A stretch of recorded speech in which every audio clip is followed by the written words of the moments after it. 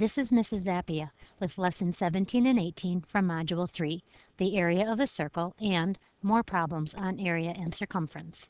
The student outcomes for Lesson 17 are students give an informal derivation of the relationship between the circumference and area of a circle. Students know the formula for the area of a circle and use it to solve problems. In Lesson 18, the outcomes are students will examine the meaning of quarter circle and semicircle. Students solve area and perimeter problems for regions made out of rectangles, quarter circles, semicircles, and circles, including solving for unknown lengths when the area or perimeter is given. The essential question for Lesson 17 is, how are the area of this circle and rectangle related? Turn the page.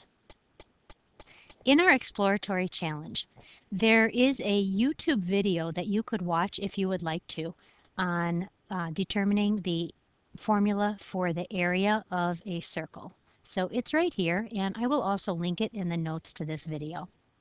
So to find the formula for the area of a circle, we start with a circle and we cut it into 16 equal pieces that uh, are similar to a triangle.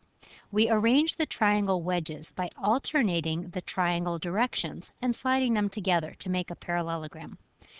Cut the triangle on the left side in half, right here, and slide the outside half of the triangle to the other end of the parallelogram in order to create an approximate rectangle.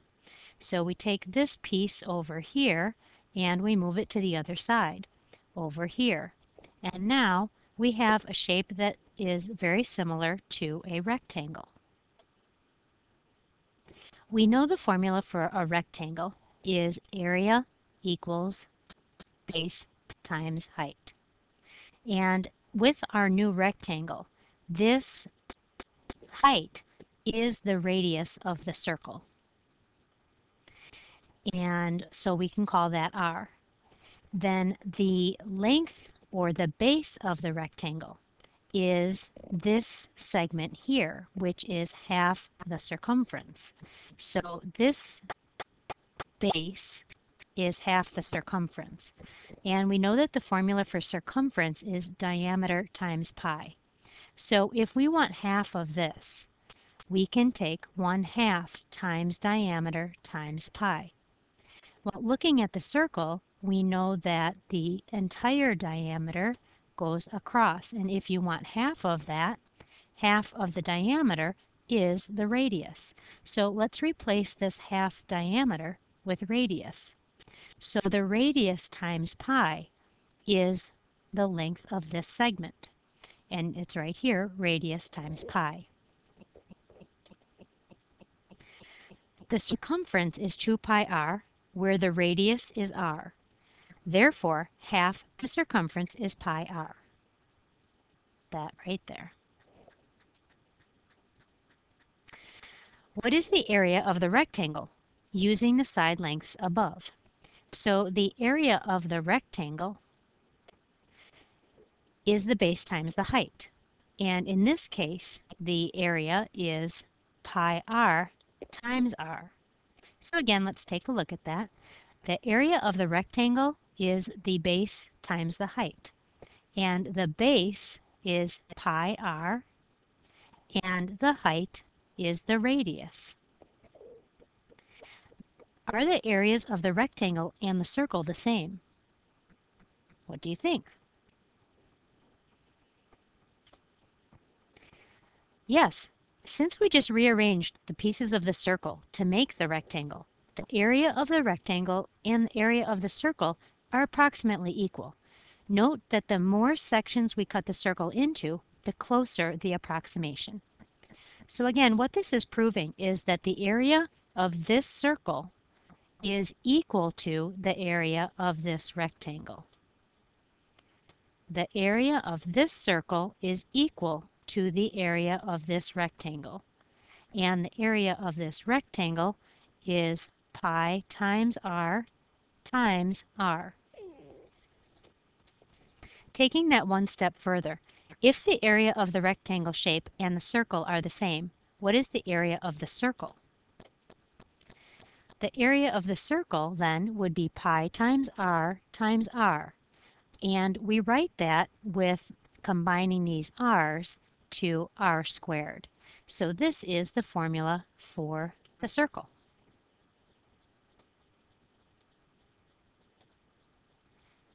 Turn the page to example 2. Example 2. A sprinkler rotates in a circular pattern and sprays water over a distance of 12 feet. What is the area of the circular region covered by the sprinkler? Express your answer to the nearest square foot. So we'll underline that so that we remember to round our answer to the nearest whole number. So draw a diagram to assist you in solving the problem. We know that this is going to be a circle. And it says that the sprinkler rotates in a circular pattern. So we'll think of the head of the sprinkler right here, and then this will be 12 feet. So we know that the radius of our circle is 12 feet. Then the question is asking, what does the, um, what information is needed to solve the problem? So if we want to know what the area is going to be, then we need to know the area formula. So the area formula is pi times radius squared. In order to solve this problem, we need to know what the radius is. And we know that the radius is 12 feet. So next, find the area of the circular region covered by the sprinkler. So step one would be to write the formula, area equals pi times radius squared.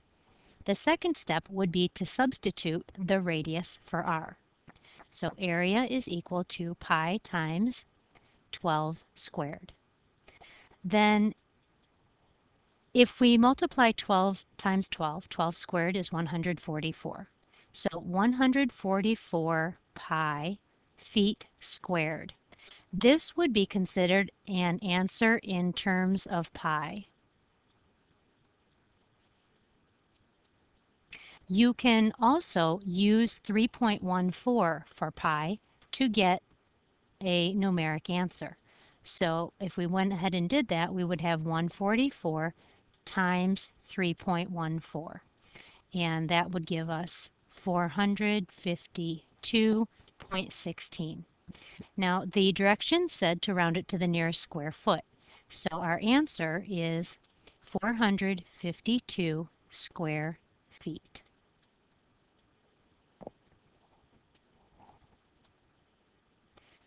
Next, turn to page 136. Copy the essential question for lesson 18, how do you find the area of a fraction of a circle? And then turn the page. In example 1, find the area of the following semicircle. Use pi approximately 22 sevenths. We'll use the formula for the area of a circle. And we know that the formula for the area of a circle is pi times radius squared. And this is a semicircle, which is a fraction of a circle. It is half a circle. So the area for the semicircle will be 1 half times pi times radius squared. So we want to make sure that we're using the radius.